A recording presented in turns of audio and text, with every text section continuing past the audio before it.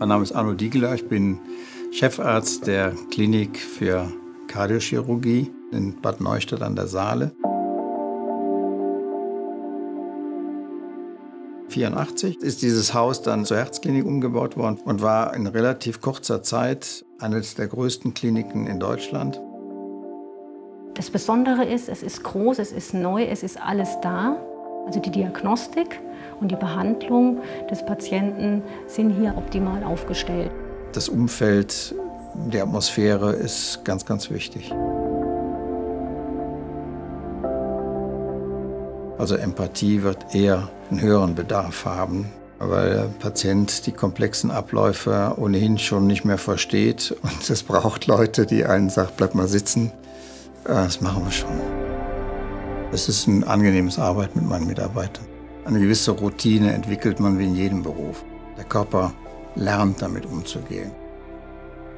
In der Herzchirurgie ist das wie bei der Thoraxchirurgie. Natürlich, wir haben Luft, wir lassen ja Luft in den Körper. Wir haben aber auch Flüssigkeiten, die sich absondern und wir haben vor allem Blut.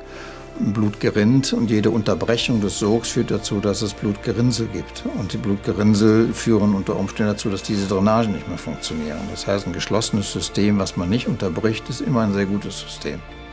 Der Fluss der Patienten, OP, Intensiv, Überwachungsstation ist schneller und es ist besser organisierbar durch diese Pumpen.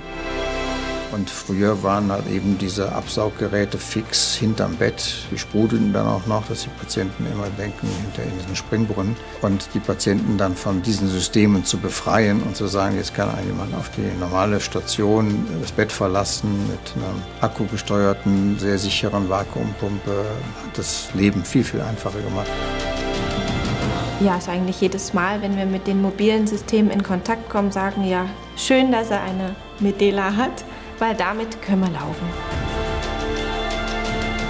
Wenn man so will, ist es die Unterstützung für unsere Arbeit. Das, was wir machen, wäre vor 50 Jahren so nicht möglich gewesen. Also die moderne Medizin ist äh, nur möglich mit Innovation und dem Patienten zugutekommen.